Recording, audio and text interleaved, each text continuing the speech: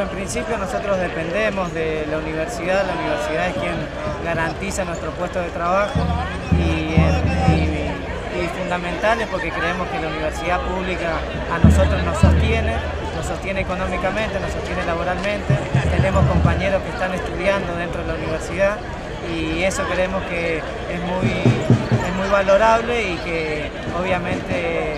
tenemos la obligación y sentimos la necesidad de acompañar este reclamo justo porque obviamente también queremos que nuestros hijos estén participando eh, también en el ámbito universitario y al mismo tiempo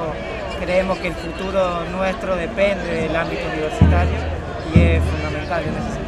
¿Por dónde pasan las preocupaciones de ustedes, de los compañeros? El principio es poder garantizar los puestos de trabajo, poder que este recorte no sea una cuestión